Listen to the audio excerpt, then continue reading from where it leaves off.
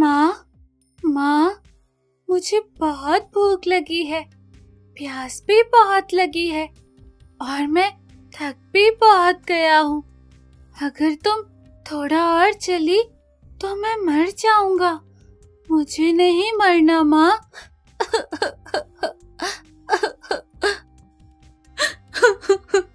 ये कहानी है गरीब रमा की, जिसने एक बकरी रखी है छम छम बकरी। जो बहुत ही प्यारी बकरी है। रमा का पति किशन बहुत ही बेकार इंसान है। हर समय नशे में डूबा रहता है।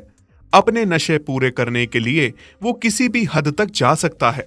घर, बार, जेवर, खेत, हर चीज़ तो वो बेच चुका था। अपने नशों की पूर्ति के लिए उसकी बीवी रमा एक बकरी के सहारे जी रही थी, जिसे अब वो अपना सब कुछ मानती थी।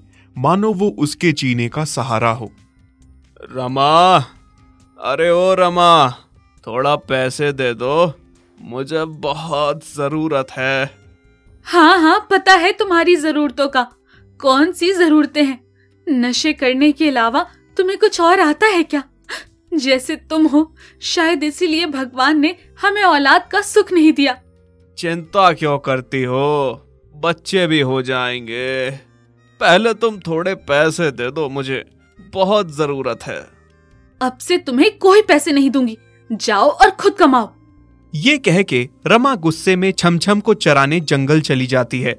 अब क्या करूँ? सेठ के पैसे कहाँ से दूँ? उसने मुझे आज का समय दिया था पैसे लौटाने का। अगर मैंने पैसे नहीं दिए तो सेठ मुझे मार देगा। अब तो रमा ने भी पैसे देने से इनकार कर दिया।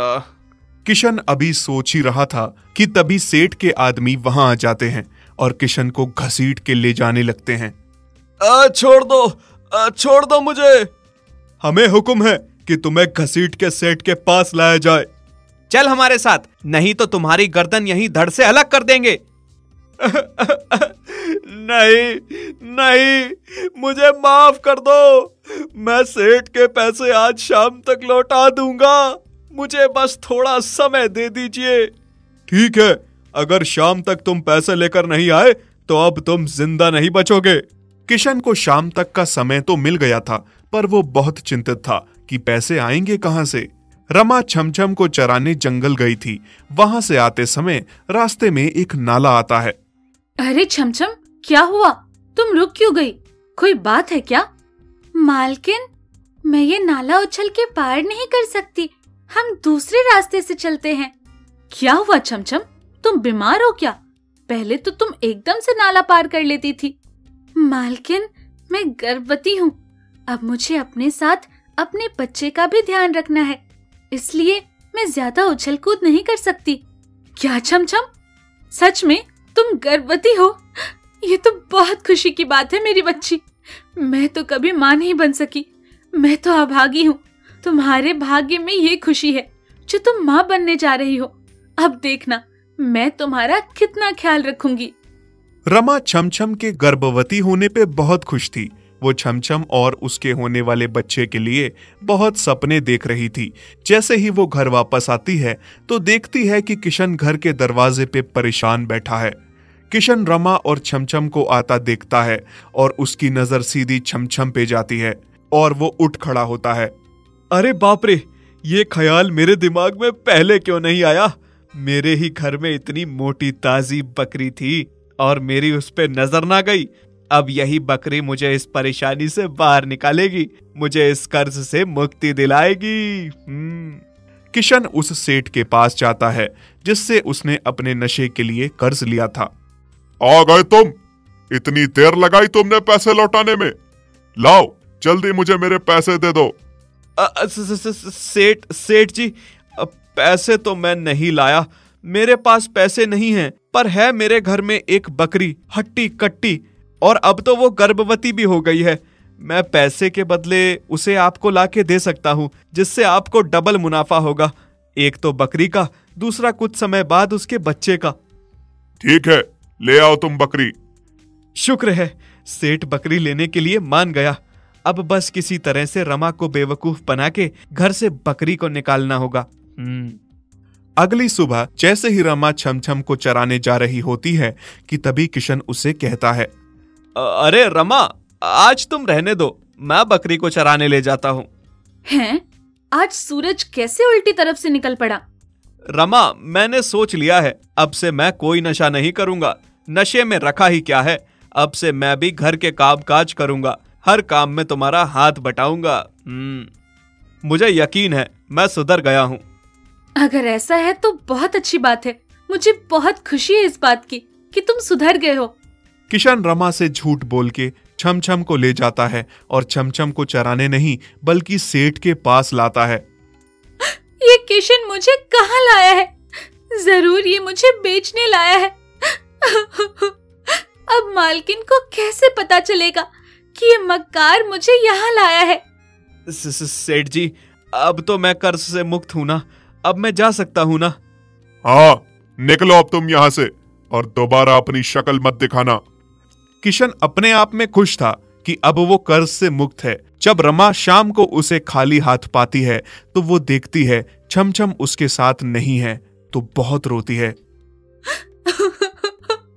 झूठे मक्कार इंसान मुझे बदलने का झांसा देके छमछम को यहाँ से ले गया। कहा है मेरी बच्ची छमछम? मुझे पता है ज़रूर तूने उसे अपने नशे के कर्ज खत्म करने के लिए किसी को दे दिया है।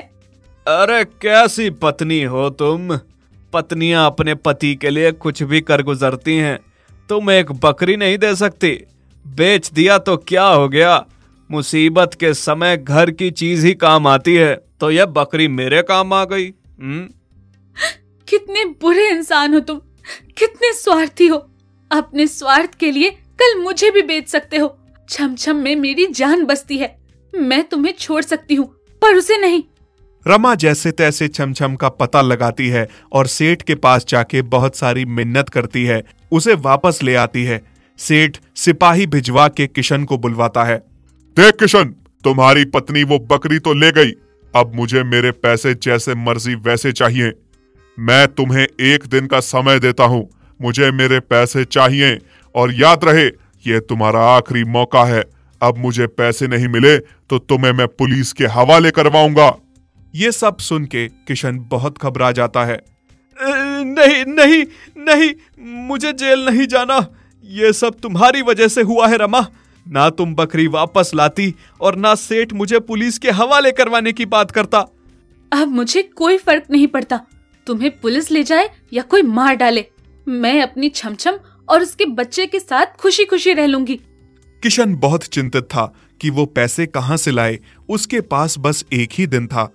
ये बकरी ही मुझे यहाँ से बाहर निकालेगी।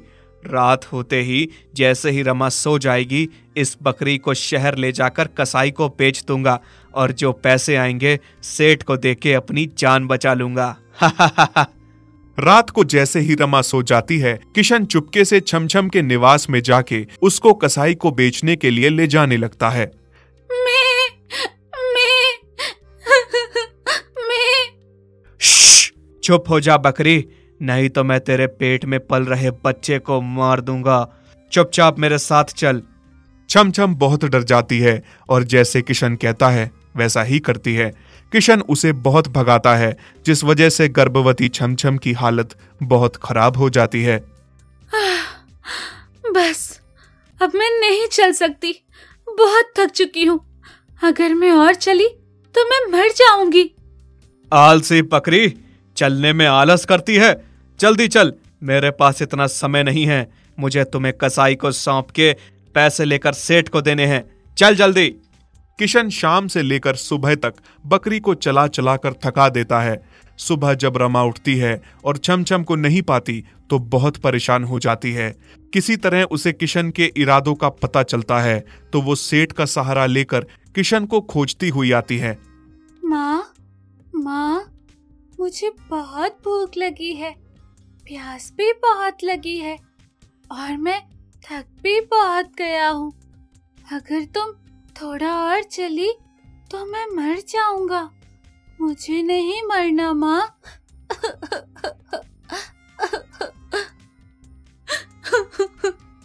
रहम करो रहम करो। इतने बेरहम ना बनो।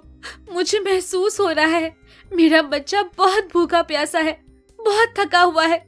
मुझे कुछ खाने दे दो, मुझे बहुत भूख लगी है।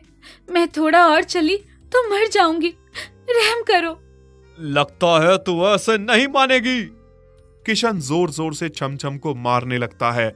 छमछम गिर के बेहोश हो गई। उसी समय रमा सेठ और सेठ के सिपाही भी वहाँ पहुँच जाते हैं और सेठ के कहने पे सिपाही किशन को बंदी बना लेते हैं।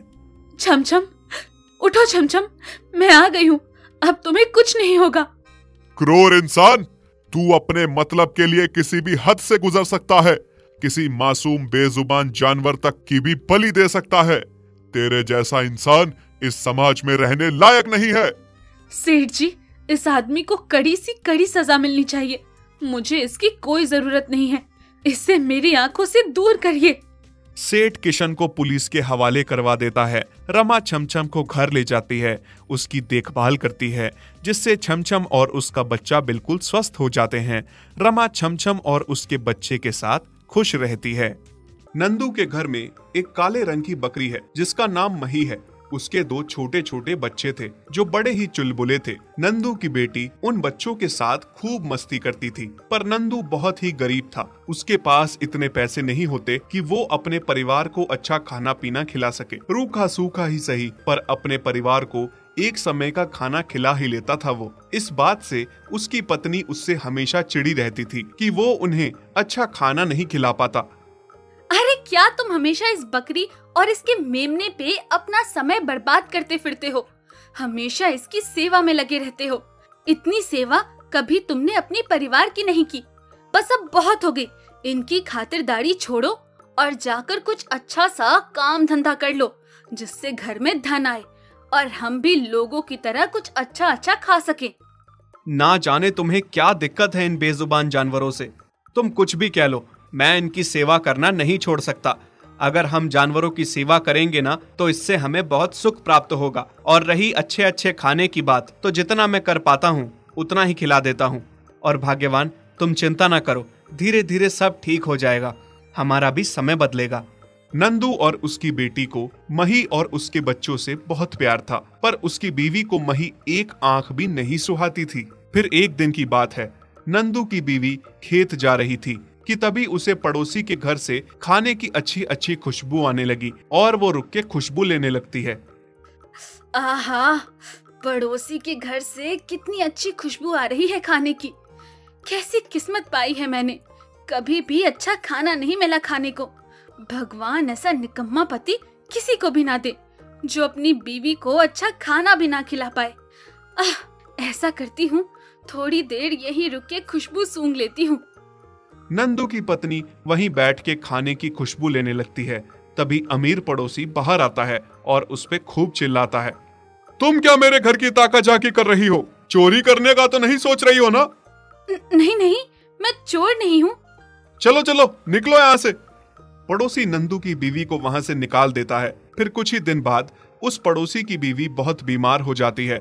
वो अपनी पत्नी को बड़े तांत्रिक के पास ले जाता है और झाड़ फूक करवाता है, पर उसकी पत्नी सही नहीं होती। तभी एक तांत्रिक सेठ को बताता है कि उसकी पत्नी तभी ठीक हो सकती है जब वो एक बहुत बड़ी पूजा कराएगा, जिसमें एक काली बकरी की बलि लगेगी। जल्दी से जल्दी वो काली बकरी का इंतज़ाम करे काली बकरी तो गाँव में बस नंदू के पास ही थी। सेठ नंदू के पास आता है। क्या मैं अंदर आ सकता हूँ? हाँ हाँ सेठ जी आ, आ जाइए। पर आज हम गरीबों के घर में कैसे आना हुआ? आप तो हम जैसे लोगों की तरफ़ देखना भी पसंद नहीं करते। वो नंदू मेरी बीवी बहुत बीमार है। तांत्रिक बाबा ने कहा है कि मेरी बीवी तभी ठीक होगी जब काली बकरी की बलि लगेगी।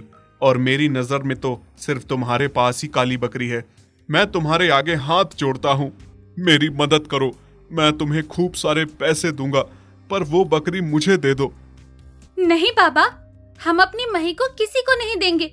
मैं मही के बिना नहीं रह सकती। हाँ मेरी बेटी हम मही को किसी को भी नहीं दे रहे। तुम घबराओ मत।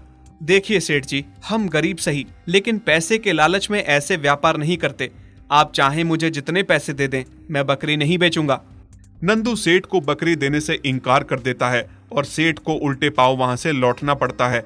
लेकिन इस बात से नंदू की बीवी नंदू पे बहुत गुस्सा करती है। ये तुमने क्या किया? सेठ को बकरी देने से इनकार क्यों किया?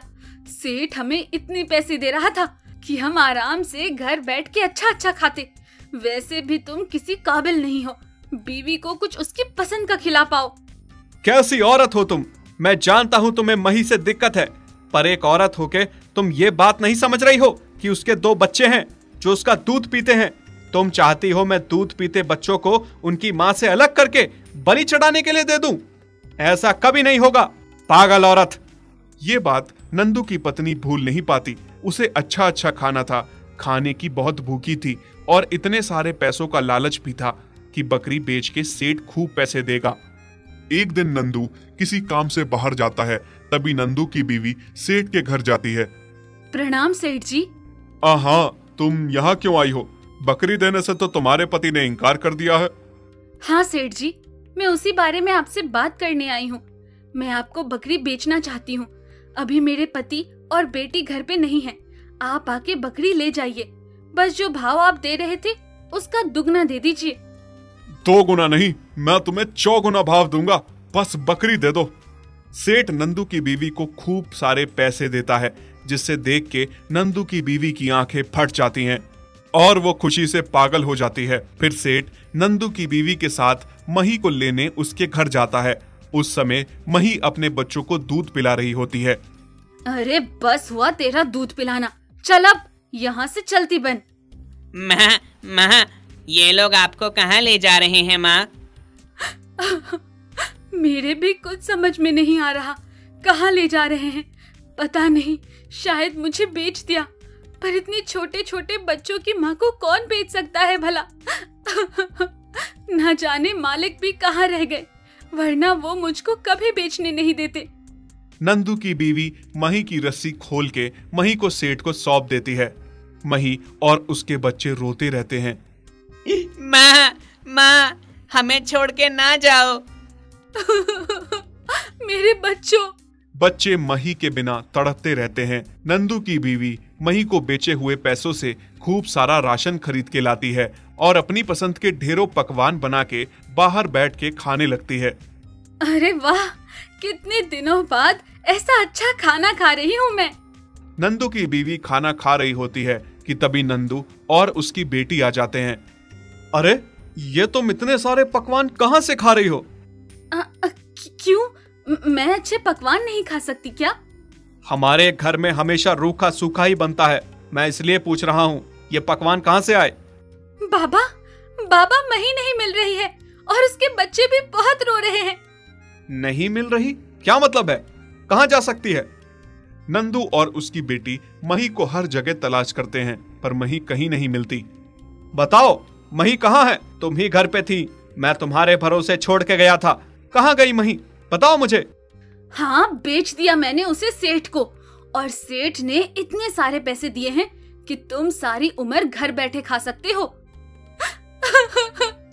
माँ, तुम कितनी बुरी हो। इतने छोटे छोटे बच्चों को उसकी माँ से अलग कर दिया, वो भी बलि चढ़ाने के लिए। अगर मुझे भी तुमसे कोई दूर कर दे तो? ऐसा ना कहो बेटी। तुझे मुझसे कोई दूर नहीं कर सकता।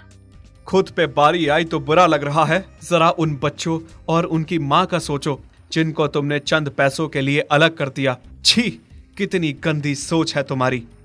सेठ तांत्रिक को बुला के अपनी बीवी के लिए पूजा करवा रहा होता है। फिर जैसे ही मही की बलि देने वाला होता है कि तभी नंदू और उसकी बेटी पुलिस को लेकर वहाँ पहुँच जाते हैं। गिरफ़्तार कर लीजिए, इंस्पेक्टर साहब। इस सेठ और इस तांत्रिक को ये बेजुबान बकरी की बलि दे रहे हैं। नंदू मैंने इस बकरी के ढेर सारे पैसे दिए हैं। इंस्पेक्टर साहब खरीद के लाया हूँ मैं इस बकरी को। ये लो सेठ तुम्हारे सारे पैसे वापस और हमें हमारी बकरी वापस करो। मैं पैसों के लालच में अंधी हो गई थी। एक माँ को उसके बच्चों से अलग करके पाप किया मैंने। तुम पागल हो गए हो सब। पूजा में विधान डाल रहे हो। आप अंधविश्वासी ना बनिए। आपकी पत्नी किसी बलि से ठीक नहीं होगी। आपकी पत्नी को मिर्गी की बीमारी है। इसका इलाज सिर्फ़ और सिर्फ़ डॉक्टर ही कर सकते हैं। हाँ सेठ, इस बीमारी का इलाज बस डॉक्टर ही कर सकते हैं। तुम कितनी भी बलियाँ लगा लो, तुम्हारी पत्नी कभी ठीक नहीं हो सकती। सेठ, तुम्हारी पत्नी कैसे ठीक होगी? जब तुम दूध पीने वाले बच्चों से उनकी माँ को छीन के उसकी बलि लगाओगे, अंधविश्वास से बाहर निकलो और अच्छे से डॉक्टर से अपनी बीवी का इलाज करवाओ। सबकी बात का सेठ पर असर होता है और वो बहुत शर्मिंदा होता है। कितना गलत करने जा रहा था मैं आज। अगर आप लोगों ने सही समय पर आकर मुझे नहीं रोका होता तो मेरे हाथों से कितना बड़ा पाप हो जाता। अंधविश्वास में डूब गया था मैं। कोई सही राह दिखाने वाला नहीं था। अब मुझे समझ में आ गया है कि मुझे अपनी पत्नी का इलाज कैसे करवाना है। ये लीजिए, आप इस बकरी को इसके बच्चों के पास ले जाइए। नंदू मही को घर ले आता है। और बच्चे अपनी माँ को देख के बहुत खुश हो जाते हैं। इसके बाद नंदू की बीवी भी सुधर जाती है और फिर नंदू और उसकी बेटी की तरह मही और उसके बच्चों की खूब सेवा करती है। यदि आप ऐसी कहानियाँ और देखना चाहते हैं तो हमारे चैनल को सब्सक्राइब करें और बेल आइकन पर क्लिक करें, ताकि हमारी सारी नई वीडियोस आप सबसे पहले देख सकें।